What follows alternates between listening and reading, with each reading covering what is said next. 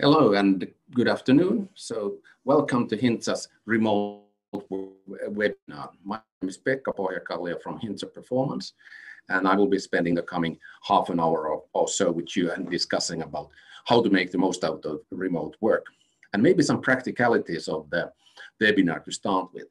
There's a Q&A button if you kind of uh, move your mouse towards the bottom of your screen, and you can ask questions using that button. I will address the questions in the end of the webcast and, and, and we can have a kind of a semi-automatic discussion that way. And uh, after this webcast, we will send in you an email of a blog article that I wrote about exactly this topic so that you can get the highlights and the main points that we are making during the session uh, even afterwards. So no need to make make notes or anything like that if you if you feel like. But let's let's kind of start the discussion and let's start the, the topic. What, what I was thinking that when we were making this, this webcast that, that actually remote work might be a new normal. I don't want to paint any kind of a horrible black pictures of, uh, of you know, that uh, uh, the quarantines and, uh, and, and, likes are, are, the, are the future for us to see. But working outside of the office could be the new normal many of us have used cafeterias or worked at home uh, in, in the past already, but somehow I have a feeling that we haven't changed our ways of working to fit with the new, new, new location. So we kind of try to work the same way as, as if we were in the office. And, you know, remote work has some particular points that make it diff uh, different. And I hope that this webinar will give you some ideas how to be as productive as possible with remote work and also flourish as an individual as a result of uh, remote work. The first point, what I would like to make is that uh, the principles of the remote work are the same or the similar as the work in the office. You know, we want to get certain things done. We want to meet our goals. We want to serve our customers. We want to be good managers and good employees regardless of the connection or regardless of the location. And, and we are, in the end of the day, we are people, regardless of where we are. So we, we just need to pay some extra attention to the fact that we don't see another person. We have to kind of pay attention to some of the subtleties of communication. We can't read between the lines as easily when we are talking about remote meetings and remote working as when we are in the same place. But on the other hand, that might be an opportunity. I think that regardless of whether we are talking about remote meetings or we are talking about uh, physical uh, meetings or work, this is the point that has created lots of discussion lately. We all have rhythms of our days and our lives, but we very rarely pay attention to the rhythms when we are talking about cognitive performance. When I was an entrepreneur a few years ago, uh, we made a big study in Finland. We interviewed 1,500 knowledge workers, asking questions about asking questions about their work. And we asked questions that have, do you realize or do you feel that you have a personal biorhythm? Basically that, that you work better in the mornings or evenings. 72% of people said that they recognize the rhythm. However, when we asked the following question, which was, do you modify your daily rhythm based on that finding? 73% said no. So we kind of know that we are morning persons, evening persons, but we decide to, to do nothing about the thing. But the studies are saying that our cognitive performance is varying about 20% during the average day. So actually the rhythms are making a difference. If you look at the kind of a classical hard workers um, model or behavior, we call them early birds. You know, the society is funny. It is rewarding early birds in business life and in working life. So we are saying that the early birds are catching the worm, or the early birds, people who come to the office early, are the hardworking people. And people who kind of want to sleep in and come a little bit later are lazy. Well, interestingly enough, if you, your kind of a personal rhythm is on the later side so that you are an evening type. Social life is about evenings, working life is about mornings. Yet scientists are saying that we can find a thing called chronotype in, in all of us. Chronotype means that are we morning persons? Do we cognitively uh, function better in the morning or in the evening? Studies say that about 20% of us are early birds, so mornings are the better. For morning persons, our cognitive performance is peaking in the morning, so we get creative stuff done. Kind of a result that happens whether we like it or not, there will be a valley. So our performance will dip at certain point, and then it will rebound, not to the peak level anymore, but quite a bit uh, above the valley. So what do the early birds easily do in the office life? And I would claim in um, remote work as well. We come to the office or we come and start the, the, the remote day, we pour a cup of coffee, and what do we do first? We check our emails. And our emails for the early birds the thing to do because they are in the peak of their performance? Maybe not. Maybe this, maybe they should think about what to do first in the morning. Well, night owls then, I'm clearly an owl. 20% of us are. And for me, that means that in the in the kind of a morning, I'm in a rebound mode. So I get stuff done, but that's not my creative peak time. So I should probably do what I was complaining about uh, early birds doing earlier. So I could take the cup of coffee and do my emails, a job or task which is not taking my full cognitive performance. That is followed again by the valley, and then my peak is in the afternoon. I tried, and this is kind of a funny or, or kind of ironic, that even though I'm speaking to you about these rhythms right now, what happened to me when I was writing a blog article of this topic, I tried to start to write it at 10 a.m., which I knew is a mission impossible. I, I don't get anything creative done before 4 p.m. I'm in a lucky situation though. My daughters are grown up, that they have moved away from home. So I can adjust my working hours pretty much the way I want. So what I typically do in the morning, I, yeah, I will sleep a little bit later. I will check my emails, maybe home, and then I come to office. I do things that require socializing. And then if I have something hardcore to do, I get that done in the afternoon. So in the three phases, we, whatever our peak period is, we should pay attention that we do the focused work, we do the work that requires analysis, and we have the highest productivity during the peak hours. During the valley, we should kind of uh, take our rest, maybe lunch break, take time for recovery, and maybe also for reflection. And during the rebound phase, we would do the menial task and tasks that require switching. Well, if you're in an open office, switching basically means that you communicate and you, you kind of uh, do your project management with your uh, co-workers. But very rarely, as said, we pay attention to the faces. Second point would be that it's important to start your work in the working day in a way or another. If you think about your normal working day, you come to office. What do you do? You wake up, you brush your teeth, you go to take a shower, you have your coffee, you wear your working clothes, you commute, and then somehow your mind is primed that now the work starts. It starts for me somewhere during my commute. My mind moves away from my private uh, thoughts and my private life to my working life. And when I'm in the office, I'm ready. So what we easily do when we are in the home alone, we just somehow drift to work. You know, we wear our pajamas the whole day.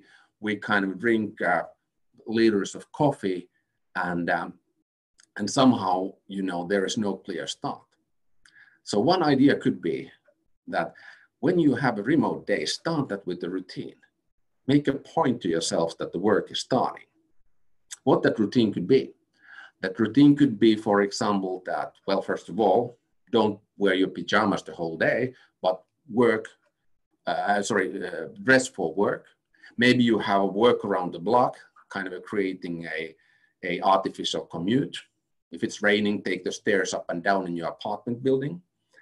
Uh, prepare your coffee. If you are into it, you might uh, meditate a little bit or kind of have a mindfulness moment or or you go for a run. I was jealous listen jealous listening to my colleague this morning who said, well, it was a fantastic day at the, at the home office. Before my working day, I, I went for a uh, bicycle uh, ride and then I did a sm- uh, light workout at home. I was jealous because I, I'm not the guy who can do that. But he did it and he said that he was ready for the working day because he kind of uh, had the, had the routine. Or maybe you just go through your list of what I want to achieve today um, before you start work. But the important point was that create a routine that will trigger your brain to be there for work. Then we can talk about place. And uh, again, building on the previous point, when I said that, you know, easily at remote work, your kind of work is, how would I say, conquering the whole home and the whole life. So it, I was I was mentoring a, a, a gentleman from, from London, and he lived and and one and a half hour train ride away from from uh, city of London where his office was, and obviously he was uh, working a lot from home. And he said that he got all the time complaints from his wife that you know, honey, you do nothing but work home. And we started to discuss that what could help this situation, that how could you know the peace come back to his relationship. And then we agreed that he will dedicate a certain spot of his house to, um, uh, to work. He fortunately had a spare room and he built his remote office there. We all can't have a, that possibility. We all can't have an own, own room for remote work, but maybe it's a kind of a corner of your dining room table where you, when you work, you are there. And, and when you are not working, uh, you can be in the other parts of the house. So your mind again is making a difference between work and leisure. And also, you know, pay attention to the ergonomics. We easily start to work on couches and, and, and create neck pain and, and whatever. You can build your own standing table by, well, finally using your encyclopedia that you haven't been using for past 15 years and pile the books and have your computer on top of it. If you feel like it, buy a, a screen and, and a separate keyboard to make your home office feel more like uh, the real office. And also eliminate the distractions while you're working. So one thing could be that you are, if, if Netflix is your temptation, you know, put your kind of a, put your remote control on the shelf and make a decision that it can be taken away from there only after the working hours.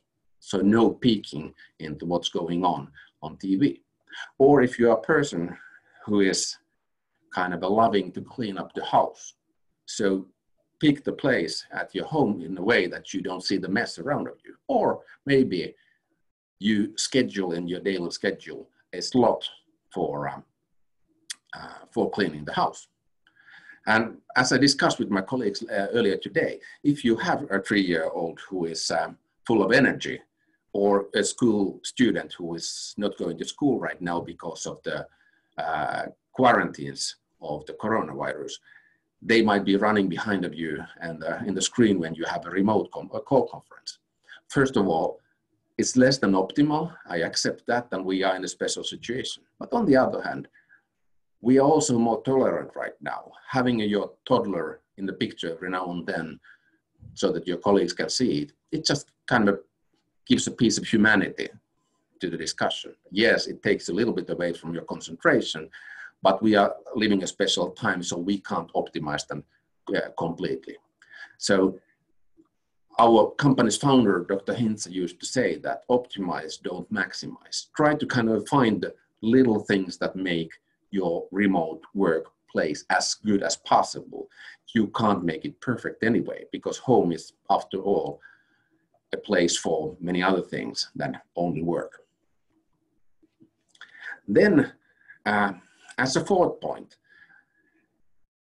I was reading and, and I also met um, uh, Harvard Business School professor Teresa Amabile a few years ago, and she made a big study of what motivates knowledge workers in the best way.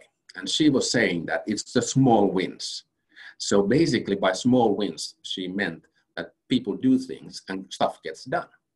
She had uh, studied 1,200 knowledge workers who were keeping a journal of what they do during their days. And as a result, that what was the most motivating thing? She found out that these small wins were the answer.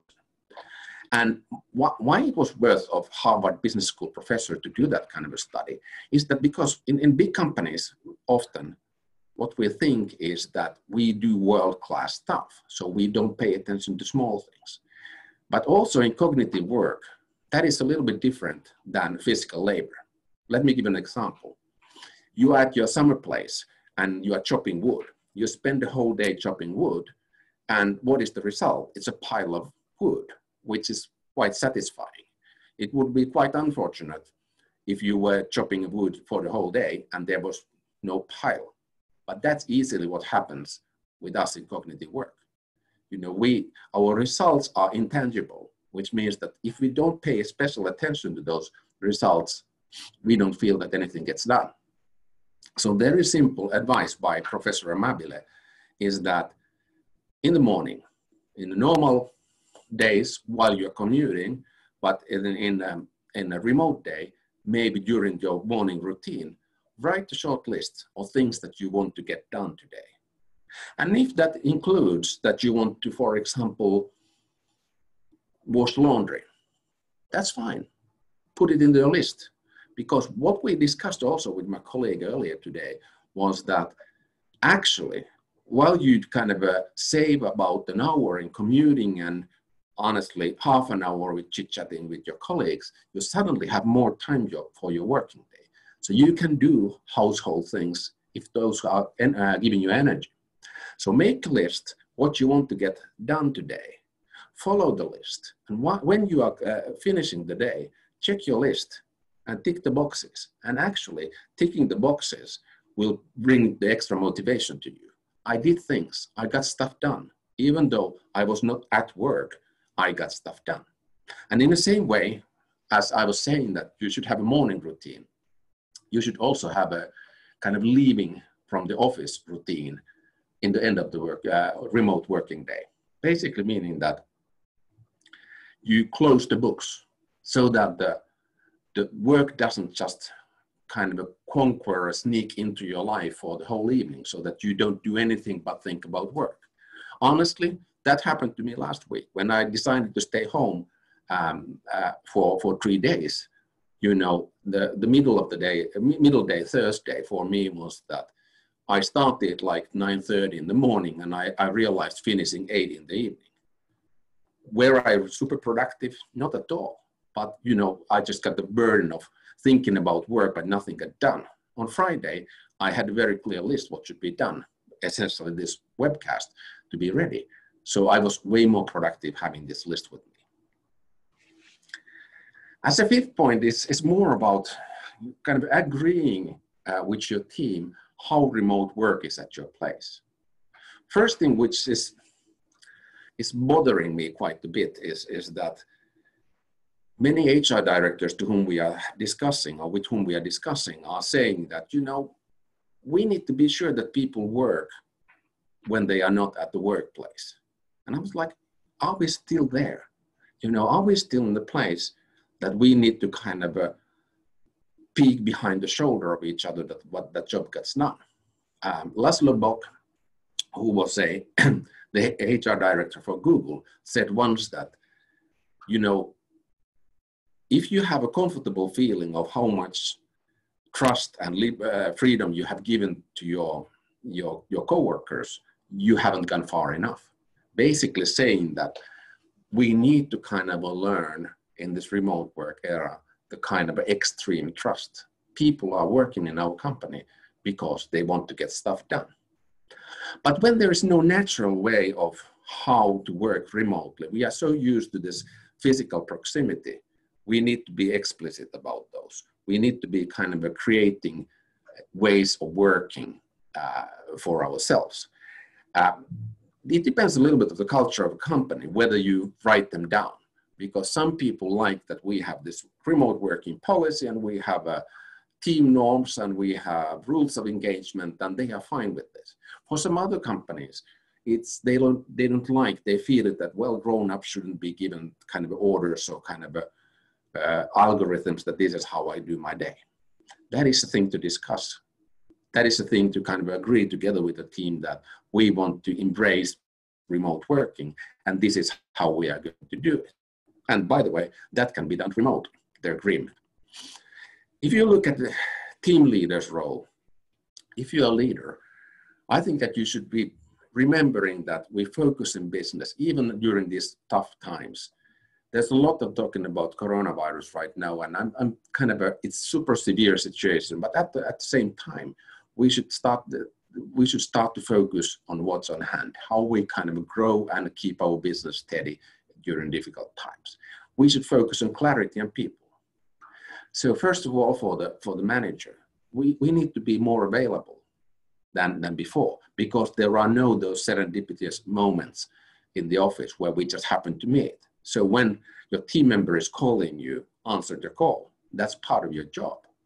Check in what using whatever system you decide to use so that people know that you are there and, and you, you kind of do stuff and you communicate the positive outcomes and, and next step that we are taking. Be clear. Without the human connection, needs of, need of clarity is even higher than in normal days. So we need to be clear that what we do next, what are the next steps, because we can't ask the question by the coffee pot. Trust, I already mentioned, that we have to be able to trust each other. And trust can be helped by having very clear goals uh, and very clear targets that we are having. So we are going towards the goal.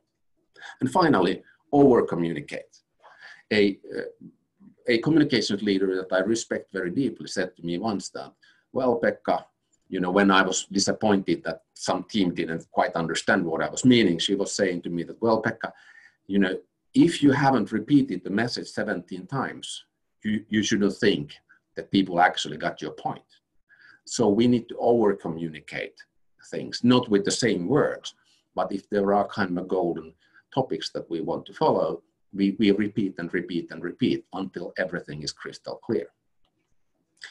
Right now, we have so good possibilities to work remotely. You know, I started my career in early 1990s. At those times, it wasn't even possible to send a attached file in the email system. Well, all the companies didn't even have an email. How would you have worked remotely then? There was no way. I have picked few logos there and there are multiple of them, but let's take an advantage of um, technology. There are lots of video systems like this one. We are using a video system to broadcast this information. Let's use that. And I have noticed also in our company that for some reason people have a, a, a tendency to switch the camera off. They probably are afraid that they have a bad hair day but you know, especially in a situation where the, we don't have so often a, a human connection, let's keep the video on. Let's think about the location that where where where we have the video conferences, if possible, so that we have good lighting, peaceful background, you know, uh, no kind of open cupboards and and you know, uh, drying exercise clothes in the in the backdrop. But we make it kind of look professional. If we use instant messaging systems like Teams or Slack or whatever, you know, let's make channels there for uh, for connecting in, in a kind of a informal way. If we have to-do list systems, let's use to-do list systems for sharing our tasks to each other. And there's project management that's kind of a bottom, there's a logo of, of a tool called Trello, which is a tool where you can follow how the tasks are processing in your pipeline. So you know that stuff is happening. But you know, in addition to the using the tools formally, and by the way, what we try to do in our company, we try to use instant messaging for all the internal communications. Let's use email for kind of formal communications and, and towards our external partners because instant messaging is more closer to the kind of normal human communication than email. But let's do kind of a continuous uh, check-ins so that, you know, we have a place where we can just say hi send a nice cat video or whatever the, uh, the, uh, the kind of a humoristic or kind of a warming thing is.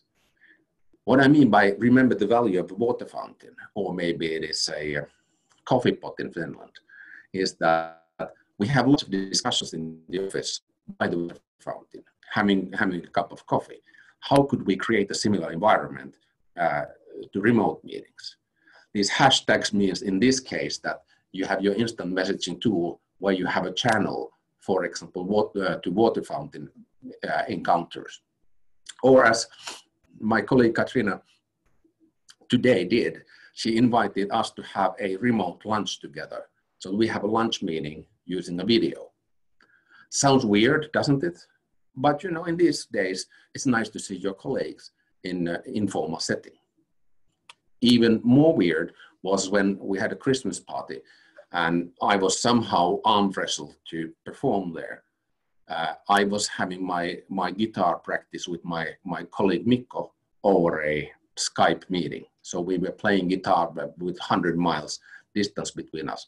It was making us closer friends, even though it felt a little bit funny in the beginning.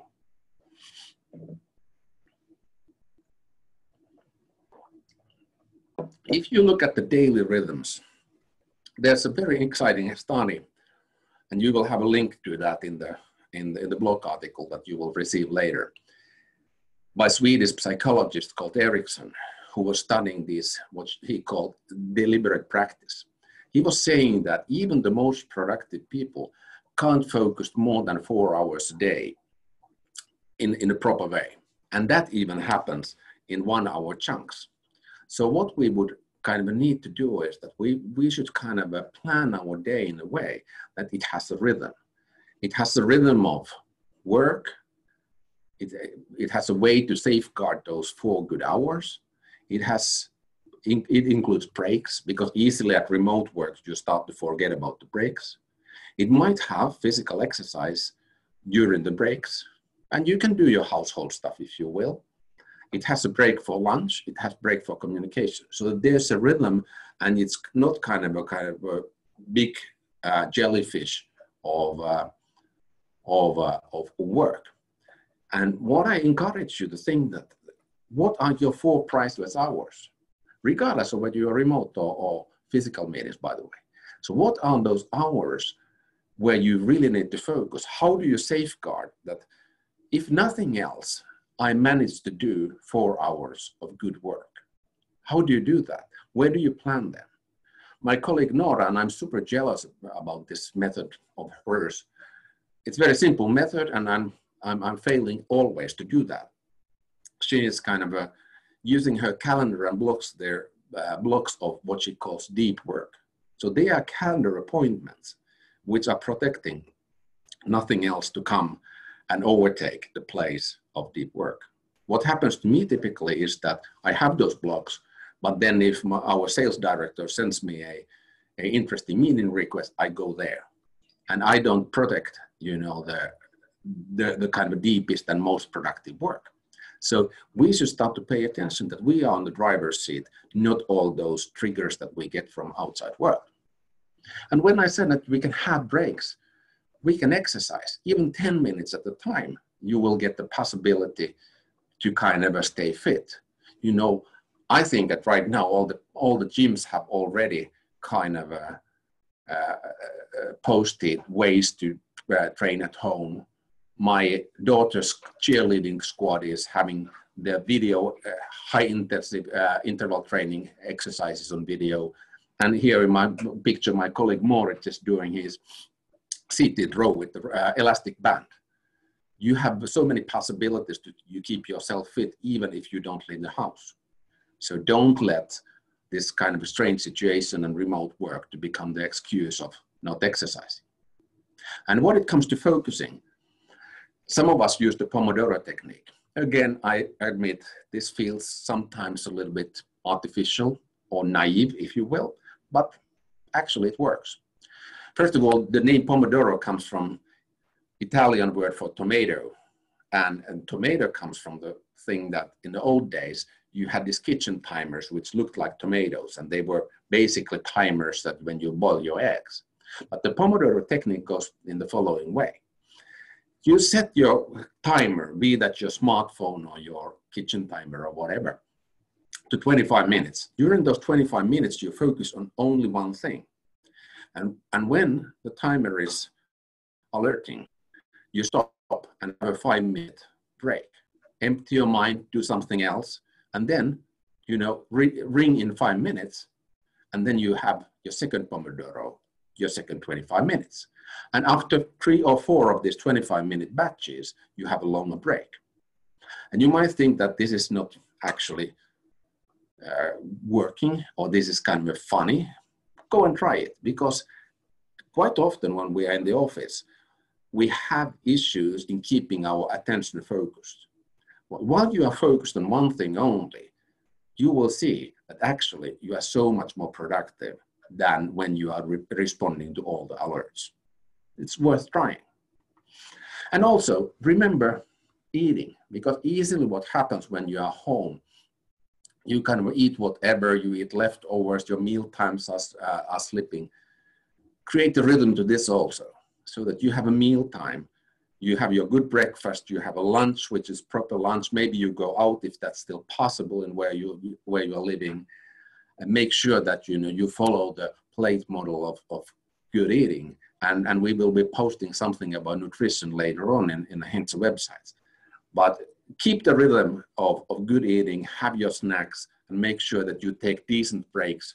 So if you typically have a lunch hour uh, in the office you take say 30 minutes for lunch take that home too because that will take your mind away from your business uh, um, issues and and kind of clears your thinking and then you are much more productive again when you get back to business and finally you know this gives an opportunity for you to go playful so we are so used to our habits and our processes and our ways of working in the office that we never try anything new now you have an opportunity that you work remotely. Should I try something else? Should I start my mornings differently? Should I find a way to focus? Should I find a new way of um, time management? Or would I kind of uh, invite my colleagues for a remote brainstorming over a video conference service? Or, or pick your thing, but, but brainstorm a little bit. But is there something that you never kind of uh, you always wanted to try, but never had the kind of courage to do that. So try it. I'm pretty sure that you know that because you have become so much more productive when you are kind of you don't have to commute and you don't have to uh, um, be in the kind of ad hoc meetings. You have time to try new things. If I want to summarize uh, what we were discussing past past half an hour, I think that simulate the kind of a way of how you work in your normal working days in the office. Try to make your days as productive as possible because you, as said, you know, you save the commuting time, you save time for kind of ad hoc meetings. You have a lot, a lot of time that you can do. Focus on your accomplishments. Make a list what you want to do.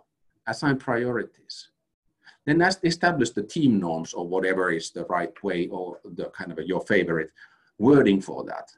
But, but think about how you as a team work uh, at, in remote and make the remote day a real working day.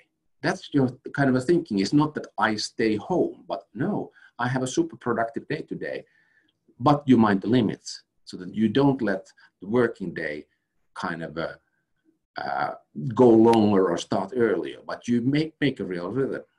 Take advantage of the different possibilities that you have in a, at remote. You can do whatever you like during your breaks, unlike in the office. Taking a nap. I mean, by the way, I have asked so many times when I give a lecture how many people are taking regular naps during their, their working hours, and people start to laugh at me. But you know, there's lots of studies which say that 15 to 20 minutes naps are actually helping you with creativity and productivity. So why not, why not to do that? Utilize the opportunity and build your own rhythm. Maximize your productivity and also maximize your energy after hours. Because when you're productive during those hours you are working, you can be much more of yourself after working hours. And finally, stay in touch. Uh, don't become a hermit. So you're staying at home in the, in, in the modern days doesn't mean that you're alone. I'm looking at my daughters who are uh, a little bit over 20 years old. What, one thing they don't do at all, what I did when I was a kid, they don't uh, make a phone call. They find emotional proximity with their friends, even using a, uh, using a WhatsApp or Snapchat or what are they. So it's possible to be there with your friends and your colleagues. And I would give you a challenge to you that uh, think about. Design your own, own best possible remote day. Think about how your day would look like and even draft it on a paper or on your tablet, if you will, that I would like that these ingredients are, are in my day and do something about it.